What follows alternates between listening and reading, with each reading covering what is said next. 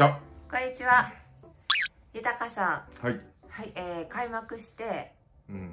3日経ちました。ねえ。はい、3連戦終わりましたけれども、はいはい。い、かがでしたか？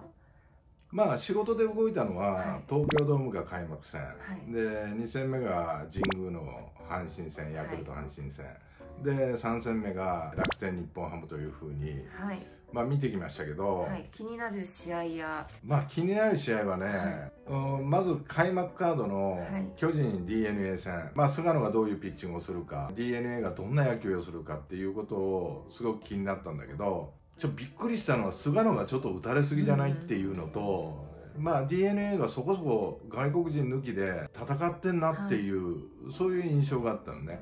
う。ん。でその中で気になったのが関根。はい、えー、d n a の関根っていうのがセーフテバントやったりだとかさまあいろいろやっぱりこう外国人パワーがない打線の中でこう非常に足を使ったり、まあ、動きを見せてくれたんでちょっとほっとしたということ、うん、それとやっぱその試合でやっぱり印象的だったのは亀井のサヨナラホームランだよね。うん。まあ、あのベテランがあそこで3球投げさせて大仕事をするというねでその中で打った方は亀井は素晴らしいんだけどもあそこでホームラン打打たれちゃいけないところで三島がスライダーを投げたんだよね。でスライダーをホームランされるわけだけどもあそこでスライダー持っていくかなって思ったんだよね。やっぱこうホームランを避けなきゃいけない配球をしなきゃいけない時にワインドワンから、まあ、スライダーを持っていったんだけどうーんまあそこら辺がちょっと消せなかったけどね、うん。まあだけど、まあ、素晴らしい開幕戦だったなっていうような、はい、まあ、印象を受けたよね、はで2戦目はヤクルト神宮に行ったんだけど、はい。その中で見ましたよ。佐藤のホームラン。はい、ああやっぱあれでねプロ野球が始まったというか、はい、実際に見て何を一番感じまあしたさっていうのを感じたんだけど、はい。まあ相手が田口ということでね、はい。まあ左ピッチャーだったんだよね、でまあそこそこの実績もあるしまあどういうふうに対峙していくかなっていうふうに思ったら1球目スライダーファールで普通2球目もスライダーだったんだけどそれあんまり振らないんだよね。うん。次はまっすぐじゃないかとかいろんなこと考えて、まあ、1球目すごくタイミングがあったファールを打ったんだよね、まあ、考えて相手も考えてスライダー投げ投げてくるとはバッターってなかなか思わないんだけどさ。まあヤクルトバッテリーもそのスライダーをあこれ変えてくるなっていうところで多分スライダーを投げたと思うんだけどその2球目のスライダーをセンターバックスクリーン上段に打ち込んだからね。あのパワーはやっぱりね魅力だわ。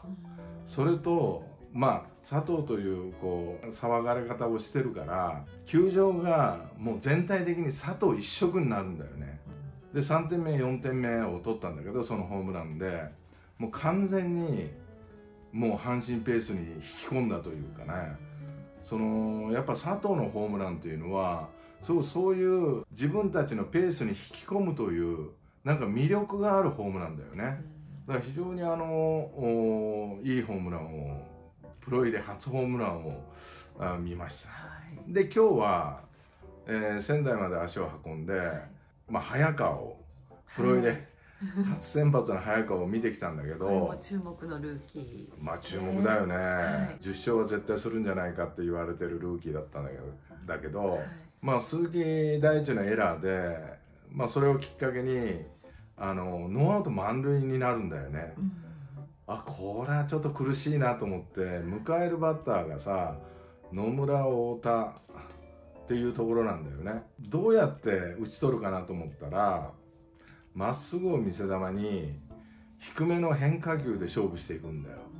でボストライクからボールになる変化球でやっぱバッターとしては手が出るんだよね。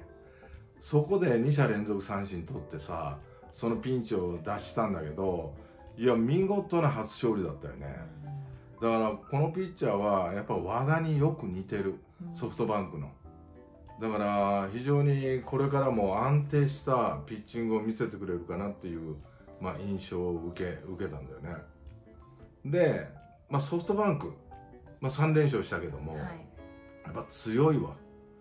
あの初戦の、まあ、二木対、えー石川の投げだったんだけどね。シュートが先頭バッターで出た。で相手バッテリーとすれば二木と田村のバッテリーとすればさやっぱ走ってくるって思うんだよね。そこを初球今宮がホームランをするんだよ、はい。まあ、そこら辺がランナーとバッターでピッチャーを攻めてるというさ、うん2人で1人を攻めてるというそういう図式が見えてやっぱ強いなと思ったよねそれと柳田の働きベテランの川島の働きこういうなんかこうチームの構成というかさまあ今日の3戦目なんだけどまあ負けててねツーアウトランナーなしからそこから逆転に持っていくというね。やっぱ底力があるなっていう、まあ、印象を受けたよね。で松田のエラーだとか岩崎の、まあ、失点を川島がカバーしたという試合だったんだけどやっぱチームが一つになってるなとワンチームだなっていうようなそういう印象を受けたよね。でもう一つ状態がいいチームはやっぱ阪神。マルテ大山サンズ佐藤っていうここら辺のは打線の厚みっていうのはすごく脅威に感じた、うんこれがロハスとかアルカンタラとかまあアルカンタラはピッチャーだけどロハスとか入ってきたらどうすんのかなっていうようななんかこれからこの矢野監督が悩み出すんじゃないかっていうぐらいなんか選手の層が厚くなってきてね。だからすごくあ今年の阪神はやるなという。佐藤っていうのは絶対ピッチャーは打たれ打たれたくないのね。でそこを超えるとさはい。梅野が待ってんだよ。でも佐藤に集中力を使ってるから梅野に甘いとこ行くんだよね。その甘いボールを的確に捉えてる梅ちゃんがいるんだよだから非常に打線が流れるというかさだから今年の阪神は本当にあの優勝優勝争いに顔出してくるだろうしはい。ひょっとしたら優勝するかなっていうようなはい。そういう勢いを感じた。うん。まあそれとあのーやっぱりこうそれに伴って今年はね若手がすごく躍動する年かなと思って、まあ例えば広島の栗林とあの石原これ抑えに持っていったんだけど見事に抑えて。はい。でその前日はさちょっと経験値のあるやつを使って失敗してるんだけどなんか栗林とか使ったらピシャッと抑えてさなんかこうここもうまくはまりそうだし、えーキャッチャーの石原？2年目のね、はい。この子もやっぱりいいねって、うん。うん、なかなかいいよっていうようなことを感じさせてくれるし、まあ、d n a の牧はい。ね。後輩。後輩。ね。はい。あのー初戦とか、はい。なかなか結果が出出なかったんだけど、まあ、3戦目で、あのー猛打賞を打ったりだとか、やっぱり非凡なものをね、りうん。うん見せてくれるしやっぱこう d n a の12番桑原関根とかあのこういうのも躍動してきたら面白いなっていうふうに思うしね。で阪神の佐藤はいこれはもう当然だけど、はい。まあ、中野という選手も非常に魅力的だし、まあ、ヤクルトで言えば本山、はい。ね、悩んだが初ヒットになり、はい。ホームランもその試合打ったというね。だから背番号6つけて宮本の後継者ということで期待してるんだけども、はい。なんか早々に結果を出してくれたという。で3戦目にな投げた奥川。もはい、う確実にね成長を見せてる。うん。だからこれもこのピッチャーもやっぱこう経験を積んできたらやっぱ面白いなっていうふうに感じさせてくれるし、まあ楽天では早川。はい。見事だったしね、うん。開幕自身の開幕ということで相当緊張してたと思うんだけど、はい。なんかその緊張をこう逆に楽しんでるような、うん。そんな感じも受けたし、はい。まあこのピッチャーもこれからも注目だしね。はい。でオリックスではやっぱ紅林。はい。で太田。はい紅林はホームラン打ってるしさ。だから本当に楽しみだよね。でロッテは、まあ、藤原とかさ、はい。なかなか調子が出ないんだけどはい。今日あの先発した鈴木、はい。まあ、ドラフトで今年入ったうん左ピッチャーだけどさ、はい。もう非常に面白いよね、うん。力もあるし、うん。だから今後楽しみだなっていうようなそういう投球を見せてくれましたよね。巨人では、まあ、ルーキーとかそういうことではないけどもまあ移籍した梶谷が満塁ホームラン。はい。で3戦目には同点タイムリー。はい。だからやっとなんかこう落ち着いて野球をできる環境を自分で作ったかなっていうようなね、はい。まあ、そんな活躍もお見受けられたし、はい。まあ、ソフトバンクでは先ほど言った柳田今宮っていうのが元気だしね。はい。で中日ではネオこれが開幕でスタートしてさ、はい。まあ守備でね3戦目はそうです。ね2つほどなんかミスが出たみミミスが出て、まあ、途中交代したけども、はい。